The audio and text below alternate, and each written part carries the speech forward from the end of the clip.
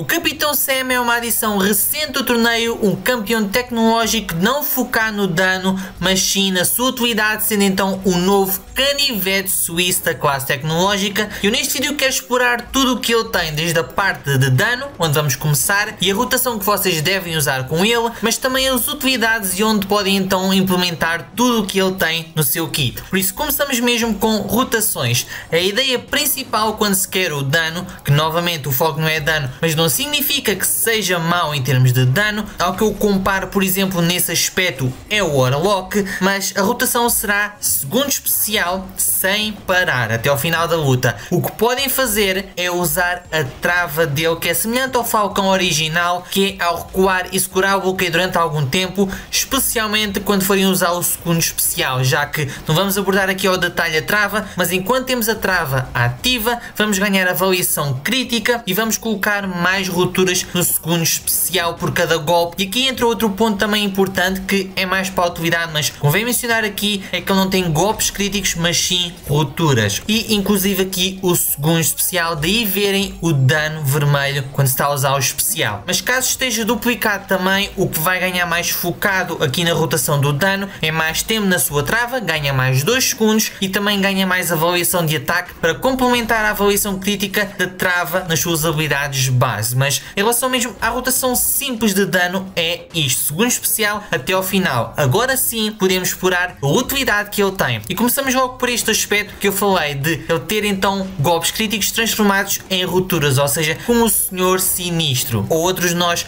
que punem golpes críticos vão ser algo que ele consegue evitar sem qualquer tipo de problema. Semelhante por exemplo ao Guardião ou ao Guillotine 2099. Ele também consegue ganhar armaduras quando está a fazer os seus golpes. E isto afeta o dano do segundo especial, mas na ideia simples de rotação de dano não é que seja importante mencionar. Aqui sim é importante pela utilidade também que pode dar. Por exemplo, se o bónus de aumento de armadura for removido de outra forma que não seja quebra de armadura, ou seja, um místico anular ou um nó tentar remover, ele vai transformar essa armadura numa armadura passiva, ou seja, tem exatamente o mesmo efeito, tem exatamente a mesma duração. Outra pequena utilidade que pode ser importante em alguns casos é quanto mais armaduras tem, menor é a chance do oponente causar sangramentos. Por exemplo, aqui temos a garota skill que se pode ver que não causa tantos sangramentos como devia, tendo em conta que o próprio do Capitão Sam tem vários aumentos de armadura. E até mostramos aqui outro aspecto importante que é o seu bloqueio automático, porque ele tem formas de bloquear especiais automaticamente e até bloquear especiais não bloqueáveis de mutantes. E também está ligado aos aumentos de armadura, que aqui em relação ao não bloqueável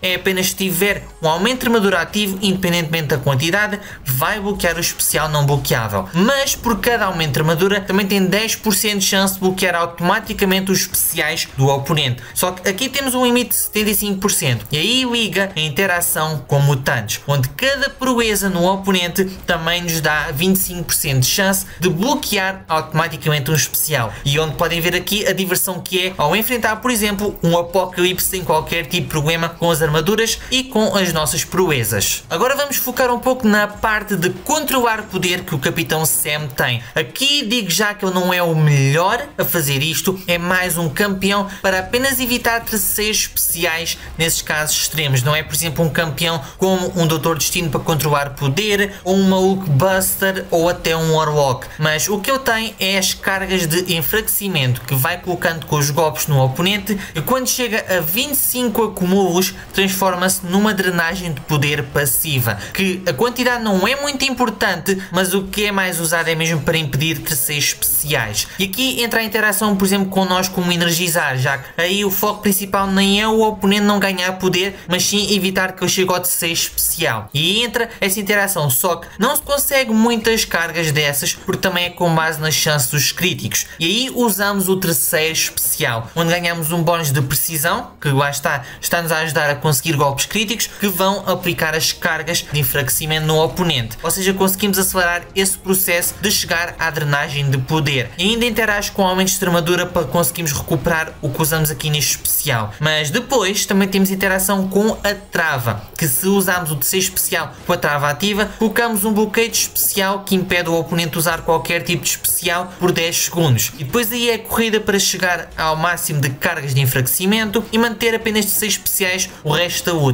Mesmo se aplica ao nó de tudo ou nada, mas quando se liga os dois ao mesmo tempo, tudo ou nada e o energizar, aí é que entra um bocadinho mais de conflito, porque estamos a falar de imenso ganho de poder e não temos sequer tempo de nós próprios chegarmos ao terceiro especial. Mas se forem separado, energizar ou tudo ou nada, ele vai servir muito bem para impedir esses terceiros especiais do oponente. E como última habilidade eu quero falar do Baluard, algo que conseguimos ao interceptar ou fazer um ataque pesado contra o oponente enquanto temos pelo menos um aumento de armadura. E o bónus em si pode não parecer importante, a única coisa que faz na sua base é dar proficiência de bloqueio, mas o importante aqui é que reduz também habilidades que o oponente teria se nos acertasse no bloqueio. E por exemplo aqui temos o oco vermelho, onde sempre que ele está a acertar o nosso bloqueio, causa dano de calor. Mas tivemos o baluarte, isso não acontece. Isto pode-se aplicar em diversos sítios. Podemos aplicar aqui com campeões, como até uma máquina de combate com o seu primeiro especial, mas pode-se aplicar, por exemplo, a nós de transferência cinética, onde o oponente ganha poder ao acertar o nosso bloqueio, ou muitos outros nós que interagem com o nosso bloqueio para reduzir a proficiência de bloqueio, para ficarem não bloqueáveis e etc. E pode não parecer relacionado a este assunto, mas sempre que temos a trava ativa, não vamos errar ataques no oponente, por exemplo da mecânica de invisibilidade da Guillotine 2099. E sempre que qualquer destas habilidades falhe, vamos aplicar um pouco de dano de ruptura no oponente, que não é grande se pensarmos só em cada vez que a habilidade falha, mas mais, por exemplo, aqui o máquina de combate como tivemos a ver com cada golpe do primeiro especial, ou o vermelho a cada golpe que nos atinge no bloqueio.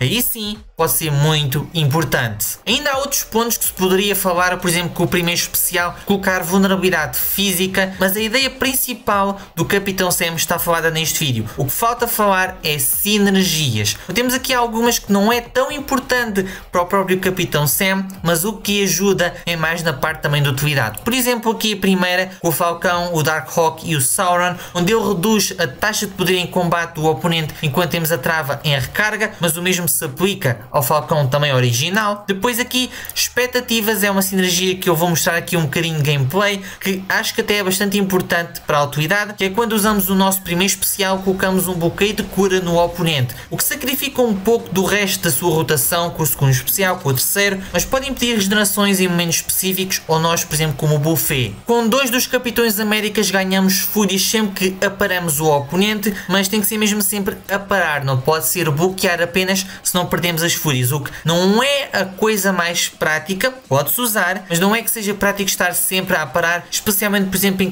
campeões em que os especiais sejam muito longos. E aqui também convém mencionar o que faz aos dois capitões, já que ao fazerem a parar colocam um spam no oponente, tendo em conta que o mais usado é o da Guerra Infinita, é mais uma debilitação que ajuda toda a sua utilidade. A sinergia do Lobo Branco também não é muito importante, quer para os Vingadores em si, onde ganhamos fúria, precisão e crueldade por 10 segundos no início da luta, e para o Soldado Invernal também não é que seja importante, que é o ataque certeiro durante os especiais, nem é para ficar depois do especial. Mas do Homem-Formiga, já fizemos aqui diversos vídeos no canal e ainda vai haver mais um nos próximos dias, mas a ideia com o Capitão Sam é apenas aumentar o efeito dos nossos aumentos de armadura, o que ajuda, claro, mas não é extremamente importante. O Homem-Formiga é causar cansaço no primeiro especial e pausar todos por bastante tempo. Mas aqui não vou entrar em detalhe sobre o quão forte isto é, vou-vos deixar o vídeo onde falo sobre isso no final deste. Mas quero então pedir a vossa opinião nos comentários sobre o Capitão Sam ou Capitão América Sam Wilson, um campeão que, quando conseguirem do cristal, eu espero que vos ajude na vossa conta, não novamente na ideia do dano, porque não é o foco dele,